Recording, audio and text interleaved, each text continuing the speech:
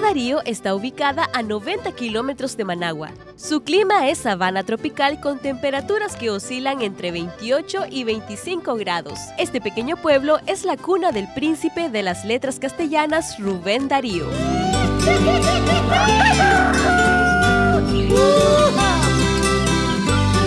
Durante este mes se celebra el 150 aniversario del natalicio de Rubén Darío.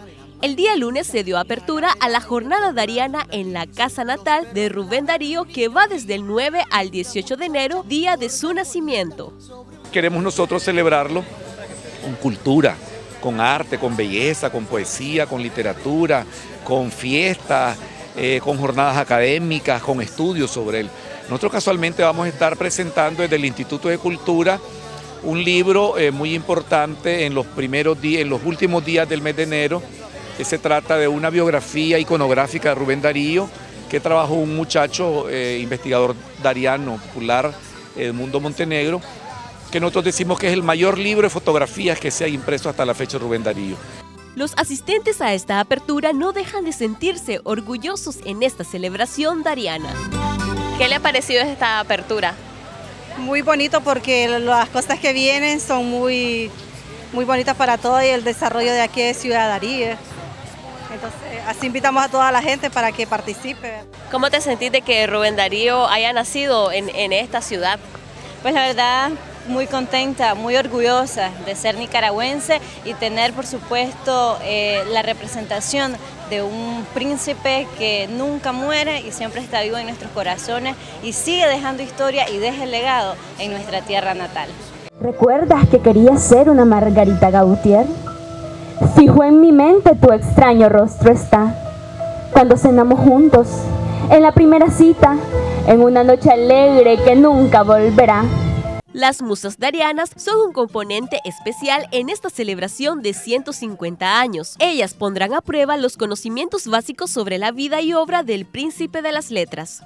Y estar participando como musa dariana es un privilegio para mí, es un orgullo estar honrando a nuestro panida. A mí me encanta el poema Cantos de Vida y Esperanza y le voy a recitar una pequeña estrofa. Un gran vuelo de cuervos mancha el azul celeste. Un soplo milenario atrae a magos de pestes. Se asesinan los hombres en el extremo oeste. ¿Ha nacido el apocalipsis con anticristo? Dentro de la casa natal se encuentra ubicado el museo en donde se puede apreciar réplicas de muebles, utensilios de cocina y objetos que el poeta utilizó durante un buen tiempo que vivió en esta ciudad. ¿Qué es lo que pueden encontrar los visitantes en, la casa de Rubén Darío?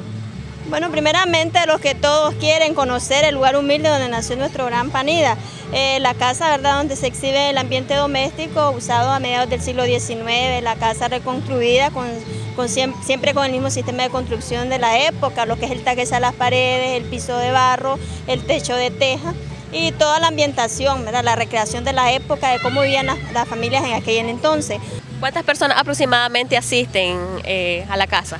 Todos los visitantes o algunos que vienen de pasada de norte a sur, de sur a norte, ¿verdad? Aprovechan y conocen este, Ciudad Darío, conocen la casa donde nació nuestro poeta, otros vienen directamente, ¿verdad? Como las tour operadoras que traen este, visitantes, los estudiantes que se programan durante todo el año.